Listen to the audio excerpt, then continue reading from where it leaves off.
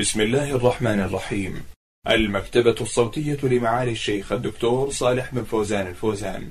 حلقات تبث في إذاعة القرآن الكريم. نور على الدرب. برنامج يومي. يجيب فيه أصحاب الفضيلة العلماء عن أسئلة المستمعين. الحلقة الثالثة والتسعون بعد المئة.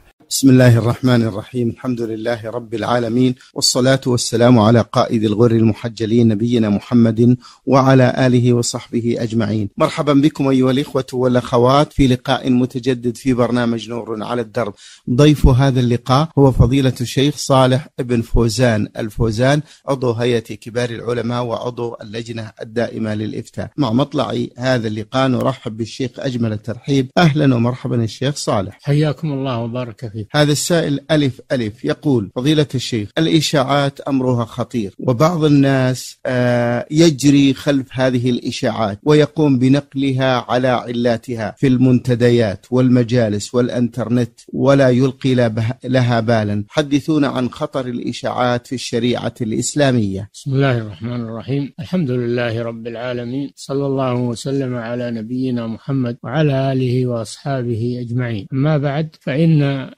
المسلم عليه أن يحفظ لسانه من الكلام الذي لا مصلحة فيه أو فيه مضرة عليه أو على غيره. ومن ذلك الإشاعات سواء كانت الإشاعات السيئة سواء كانت تتعلق بالأفراد أو تتعلق بالأمة فإن على المسلم أن يتثبت ولا يتحدث بها إلا عند الضرورة. قال الله سبحانه وتعالى يا أيها الذين آمنوا إن جاءكم فاسق بنبأ فتبينوا أن تصيبوا قوما بجهالة تصبحوا على ما فعلتم نادمين. فعلى المسلم إذا بلغه عن أخيه شيء سيء أن يكتمه وأن لا يشيعه حتى ولو كان صدقا ولو كان ما نقل إليه صدق. وفيه مضرة على أخيه فإنه يستر أخاه ويناصحه فيما بينه وبينه ولا يشيع عنه الأخبار السيئة ولو كانت واقعة. لأن هذا أيضا يدخل في النميمة في الغيبة. قد قال صلى الله عليه وقد قال الله تعالى ولا يغتب بعضكم بعضا أيحب أحدكم أن يأكل لحم أخيه ميتا فكرهتموه. واتقوا الله إن الله تواب رحيم. والنبي صلى الله عليه وسلم فسر الغيبة بأنها ذكرك أخاك بما يكره. قالوا يا رسول الله أرأيت إن كان في أخي ما أقول؟ قال إن كان فيه ما تقول فقد اغتبته وإن لم يكن فيه ما تقول فقد بهته. يعني كذبت عليه بالبهتان. فأنت آثم على كل حال سواء كان فيه ما تقول أو ليس فيه ما تقول. لأنك لا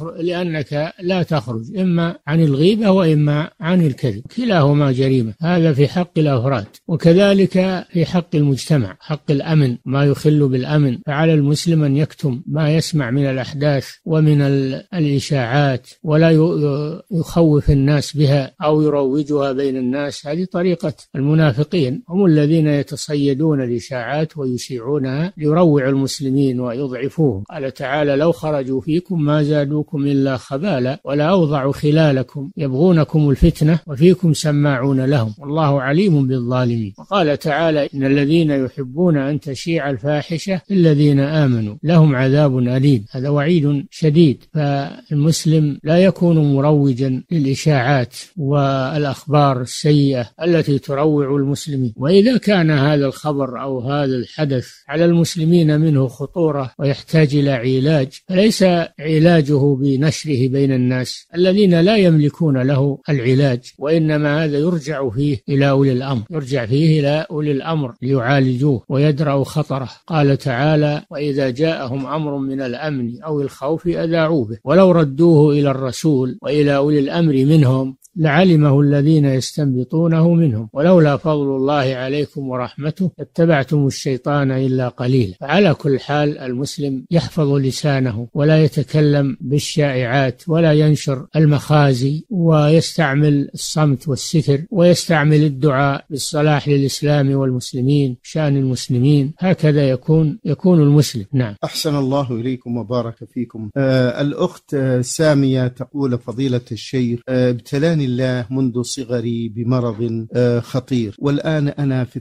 الثلاثينات. وهذا المرض آه، ليس له علاج. فما هو الأجر المترتب على مثل هذا الصبر وخصوصا البلاء وهذه الأمراض؟ مأجورين. لا شك أن المسلم مأمور بالصبر على ما يكره من المصائب والأمراض. ومع الصبر يستعمل الأسباب النافعة بإذن الله. إذا كان فيه مرض يسعى في علاجه. مع الصبر والاحتساب عدم الجزع وفعل الأسباب المباحة لا ينافي الصبر لأن الصبر في هذه الحال هو حبس حبس اللسان عن الشكوى حبس النفس عن الجزع وحبس اليد عن لطم الخدود وشق الجيوب. فإذا كان هناك سبب نافع وعلاج لهذا المرض فإنه يسعى في علاجه. قال صلى الله عليه وسلم ما أنزل الله داء إلا أنزل له دواء علمه من علمه وجهله من جهل الذي أنزل الداء أنزل الدواء وإنزاله للدواء يدل على أننا نبحث عن هذا الدواء ونستعمله.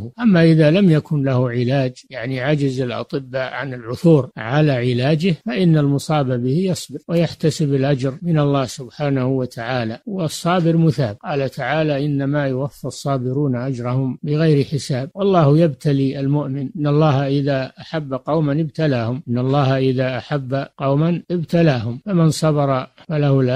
ومن جزع فعليه الإثم. إن الله إذا أحب قوما ابتلاهم فمن رضي فله الرضا ومن سخط فعليه السخط كما في الحديث. وبهذا يطمئن المؤمن ويعلم أن ما أصابه لم يكن ليخطئه وما أخطأه لم يكن ليصيبه. ويرجو أن يكون هذا المرض أو هذا الداء خيرا له عند الله سبحانه وتعالى. قال تعالى وعسى أن تكرهوا شيئا وهو خير لكم وعسى أن تحبوا شيئا وهو شر لكم. نعم. أحسن الله إليكم. آه هذا السائل يقول فضيلة الشيخ قمت بأداء العمرة في رمضان العام الماضي مع عائلتي ولكنني الوحيد الذي آه لم أقصر من شعري بعد انتهاء العمرة ورجعنا إلى الرياض دون تقصير فماذا يلزمني الآن؟ يلزمك أن تقصر في أي مكان في مكة أو في الرياض أو في الطريق ولا تتم عمرتك إلا بالتقصير لأنه نسك من أنساكها. فعليك أن تقصر حتى ولو طال الوقت أنه باق عليك وعمرتك لم تكمل.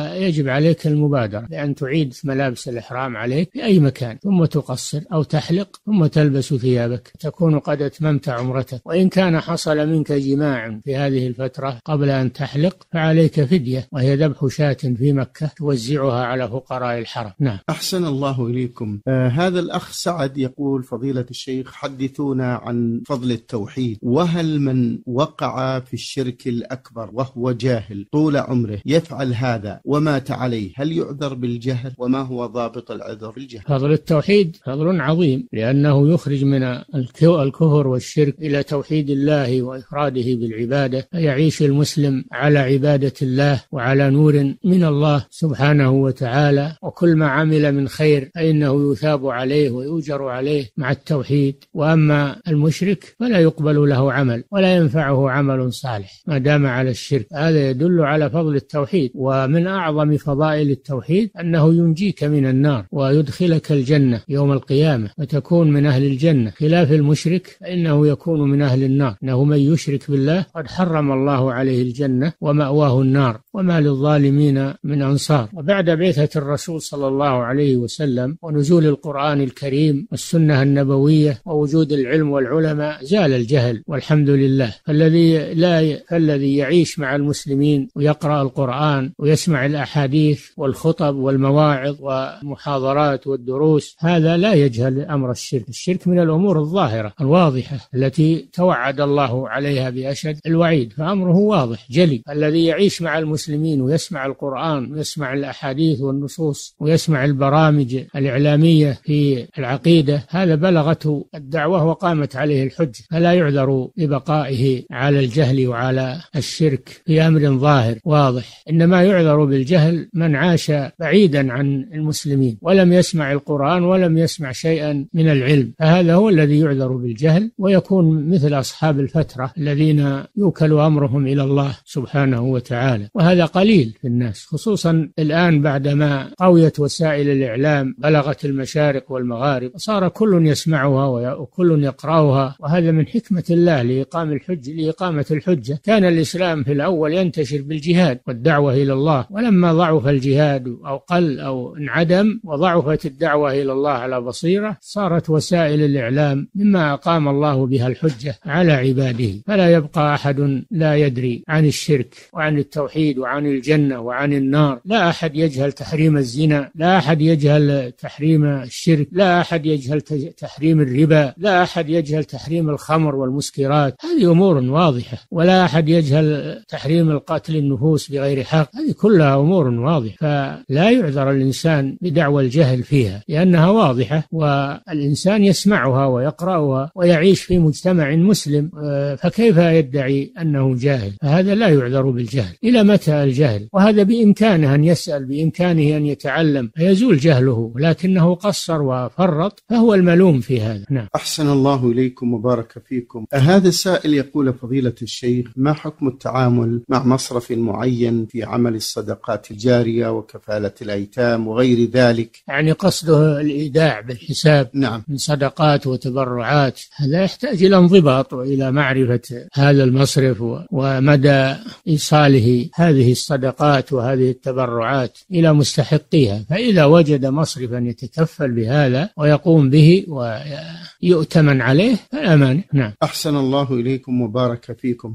آه، فضيلة الشيخ يقول دائما نحن نترضى عن الصحابة ونقول رضي الله عنهم جميعا. ولكن سؤالي هل الصحابة, هل الصحابة بمنزلة واحدة في الجنة مع الرسول الكريم صلى الله عليه وسلم؟ لا شك أن الصحابة رضي الله عنهم في الجنة مع الرسول صلى الله عليه وسلم مع الذين أنعم الله عليهم من النبيين والصديقين والشهداء والصالحين وحسن أولئك رفيقا كما في الآية الكريمة. وهذا لا يقتصر على الصحابة وإن كان الصحابة لهم فضل على غيرهم لكن كل من أطاع الله والرسول فهو من هؤلاء. قال سبحانه وتعالى إن الذين آمنوا وعملوا الصالحات إنا لا نضيع أجر من أحسن عملا قال تعالى ومن يطع الله والرسول فأولئك مع الذين أنعم الله عليهم من النبيين والصديقين والشهداء والصالحين وحسن أولئك رفيقا. يمتاز الصحابة بصحبتهم للرسول صلى الله عليه وسلم ومناصرتهم له تعلمهم عليه ورؤيتهم للرسول صلى الله عليه وسلم وبجهادهم معه فضلهم لا يناله أحد ممن جاء بعدهم وإنما حسب من جاء بعدهم أن يقتدي بهم وأن يسير على منهجهم. والصحابة يتفاوتون في الجنة وسائر المؤمنين يتفاوتون في الجنة في منازلهم. قال تعالى هم درجات عند الله والله بصير بما يعملون. نعم. أحسن الله إليكم. هذا الأخ أسعد يقول فضيلة الشيخ حتى الإسلام على الكسب طيب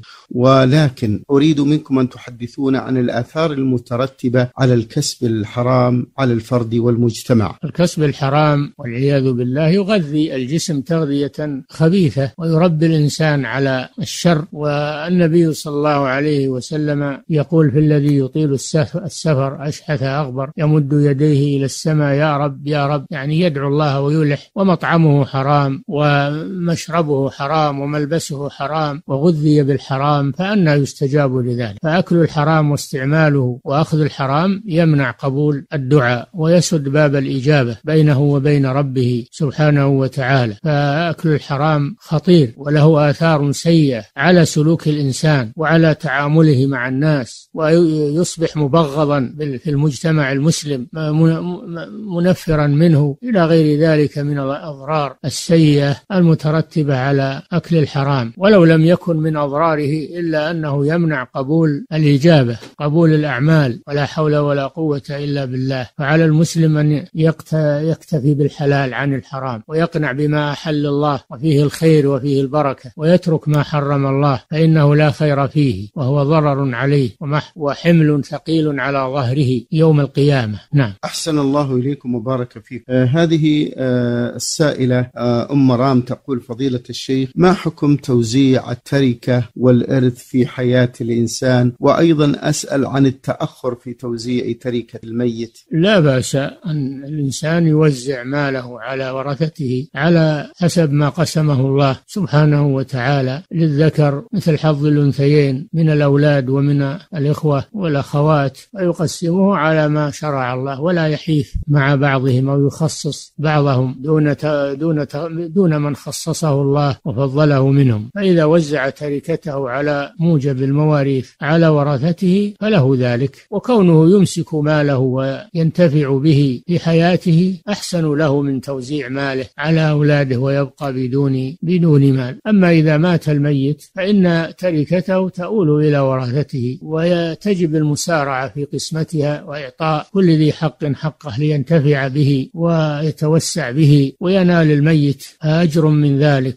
إنك أن تذر ورثتك أغنياء. خير من أن تدعهم عالة يتكففون الناس. فيبادر إلا إذا كان هناك عوائق تمنع من القسمة فيؤخ تؤخر إلى أن تزول هذه العوائق. أما ما دام ليس هناك عوائق من قسمة التركة تجب المبادرة في قسمتها وإعطاء كل ذي حق حقه. نعم. أحسن الله إليكم. آه هذا السائل يقول آه أنا الحمد لله غني وميسور الحال وأريد أن أشارك في بناء آه مسجد. فهل المشاركة في بناء المسجد تكون كاملة؟ أم آه المشاركة فيه آه عن طريق المكيفات والأثاث ووسائل التدفئة تدخل في البناء. كل ما تبذله في المسجد من بناء أو من مكيفات أو من فرش أو من مياه أو من إنارة كل ذلك يدخل في عمارة المسجد ولك فيه الأجر من الله سبحانه وتعالى. نعم. جزاكم الله خيرا. هذا السائل يا فضيلة الشيخ يسأل ويقول آه ما حكم آه رفع الصوت على الأب ثقيل السمع حيث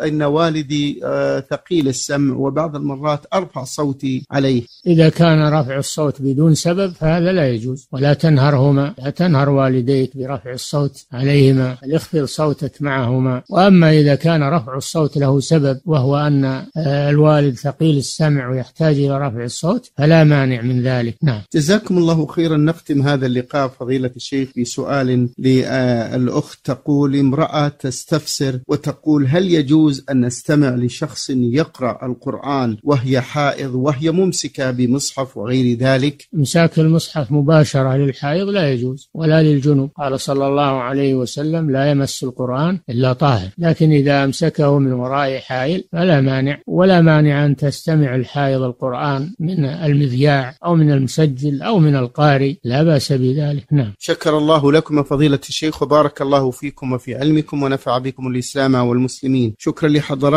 أنتم أيها الإخوة والأخوات على متابعتكم لهذا البرنامج. يتجدد اللقاء إن شاء الله في هذا اللقاء مع فضيلة الشيخ صالح بن فوزان الفوزان عضو هيئة كبار العلماء وعضو اللجنة الدائمة للإفتاء. وهذه تحية من زميلي مهندس الصوت عثمان بن عبد الكريم الجويبر.